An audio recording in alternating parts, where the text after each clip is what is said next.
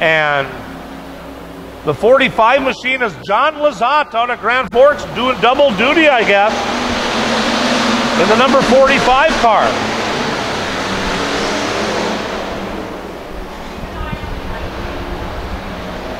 Well, that's the transition going from the sport mod to the hobby stock. That's a whole different setup inside that race car. That caught me by surprise a little bit. It made me stutter when I read the name John Lazat. Had to make sure I took a double take. Brandvold is out front with seven to go. Katie Ruby's going to jump past Chris Seekings up into that number two spot, and she's got her sights set on the number six car, Brandvold. Seekings running third in the 54. Tomlinson up in the marbles in the 3T. Now dives down on the inside of Seekings. Tries to grab that third place spot, and he does successfully as he takes it into corner one and two. There goes Katie Ruby in the number nine car, trying to get around Brandvold. Meanwhile, the 3T machine of Vance Tomlinson sits back and watches the show for that battle for first place. Here goes Ruby down around the inside. Will she get across the flag stand checkered line? First she does. New leader with five laps remaining is Katie Ruby. Now Brandvold sticking the door panel down on the inside, but boy, Katie Ruby a lot faster on the back straightaway. Tomlinson still follows Katie out of the corner. Brandvold down low, trying to hold on to second, but Tomlinson drives around. Four laps to go. Ruby might have trouble. That 3T machine's coming up hot behind her as they go down the back straightaway. Ruby followed by Tomlinson. Then Adam Goff in the 30A machine. That's the top three as they go into quarters three and four. Out they come. It's still Katie Ruby, the leader. Vance Tomlinson with a very successful season so far. Won the two-day event in Williston. He's taken home wins in Underwood. Having a great season so far in the 3T. He's looking for more. And he's up on the high side trying to get around Ruby as they come past the flag stand. High raised green, two laps to go. Not a whole lot of room in between Ruby and that guardrail for Tomlinson of the 3T machine. Talked about success here at the playground this year for Tomlinson. Four wins in this division, seven top fives, eight top tens. And he's going to try to lead the next lap around. White flag is in the air. And Tomlinson's the new leader as they come by the flag stand.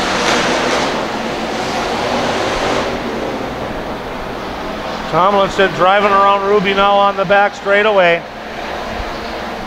Last minute arrival to the party is the 30 of Goff. Here they come out of the corner. And Tomlinson will hang on. Goff is going to take second place away from Ruby at the finish stripe, followed by Brandvold and John Lazat. Ladies and gentlemen, your winner out of Max in the 3T, it's Vance Tomlinson. Ladies and gentlemen, we want to thank Shots Cross. Senior 99 is Trevor Haas. 8K is Jason Olson. The 146 is Andrew Birch. Back rows the 55 of Scott Jern. And the 211 of Joe Schroet. Joe's excited about our sponsor.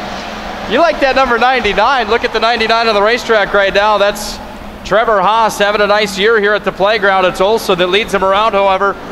Coming by the flag stand for the first time. Seven laps remain for Jason Olson. Olson sticking right in the middle. He's going to force everybody to go around him. Haas is going to take a look up high. Andrew Birch. I keep on talking about everybody that's been having a great year. So is Birch in the 176 and Haas. They've both been phenomenal. And here they come out of corner number four. And Jason Olson staving them off.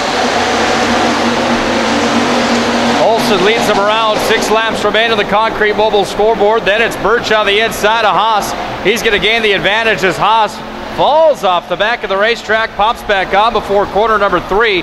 Does the 146 car have what it takes to get around the eight machine of Jason Olson? He's only got five more laps to go as Olson leads him around. Wally Jones has joined us about two, three times in a row now. Coming down, I believe, from Lignite in the 4J. Trying to hold on to the lead is Olson as they come out of corner number four and past the flag standing in. Olson's got Birch right behind him with four laps to go. Trevor Haas waiting for a mistake. That's the thing about these heat races. There just isn't a whole lot of time to make things work. You got to draw lucky. You got to be up at the front. You have to have a fast race car. That's exactly what the 146 has. Eddie's got the low line around the bottom. He's going to make a pass for the lead. Your new leader in that number 146 car, it's Andrew Birch with three laps remaining. Nice move by Birch to gain that lead, and now Haas does a slide job. Can't make it stick, and Olson will still be in second with Haas in third. Let's see if he can try it again. There's the high raised green flag. Two laps to go. Nodak Speedway's favorite color, the green flag. Nice job keeping things rolling here tonight. Good program so far, especially for the Birch Machine 146. He has to be happy out in front of the pack. Nice battle for second. Haas and Olson go side by side, wheel to wheel, down the back straightaway through corners three and four. Look out for that tire. Olson almost got into it. They come by with one lap to go. Birch still the leader. Trevor Haas is gaining a slightly. He was a half a second faster that time around, but that's not going to be enough. Andrew Birch will pilot the 146 machine into corner four. Looking for a smooth exit. He's got it. He'll come on by and grab that checkered flag. Haas will take second. Jason Olson in third. Wally Jones at the fourth place finish.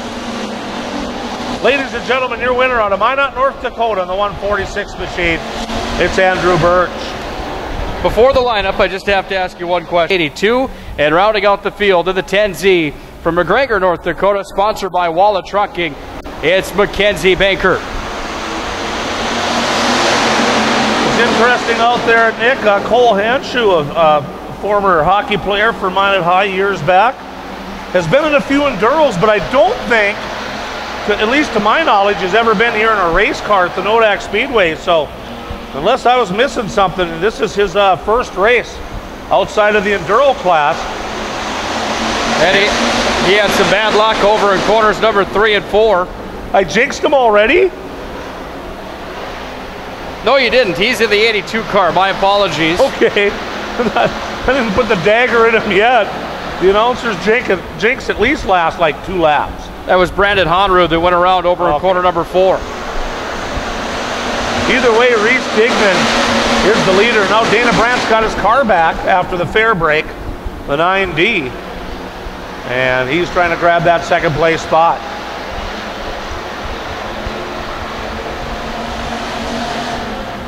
Colton Gleave of the C45 trying to hold off Dana Brandt to the 9D. Brandt's going to take the inside. Downer on the bottom. There's a spin over in corner number four. That time it is the number 82 machine of Cole Hanshu. That was only a matter of time.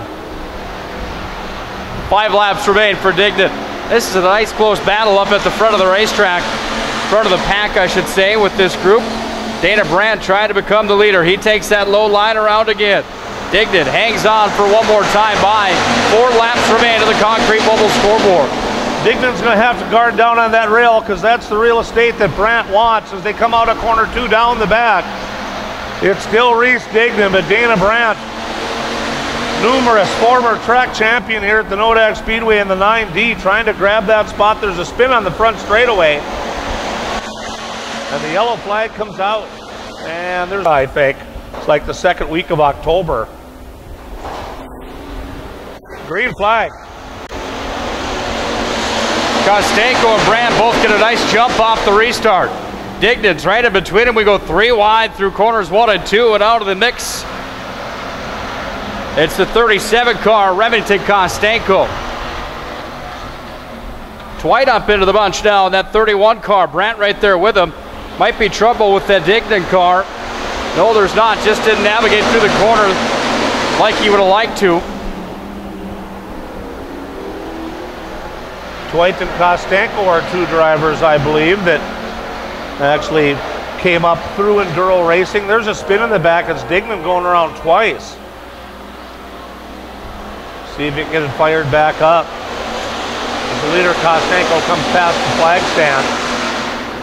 And we're staying green. Dignan gets it back under power.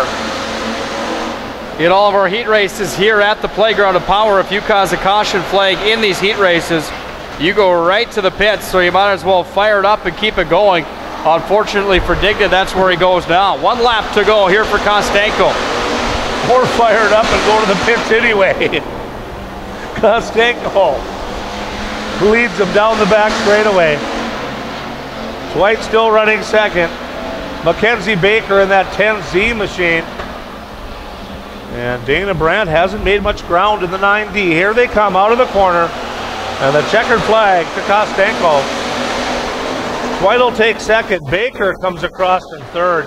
And Dana Brandt's got to settle for fourth. Ladies and gentlemen, your winner in the 37 machine, it's Remington Kostenko.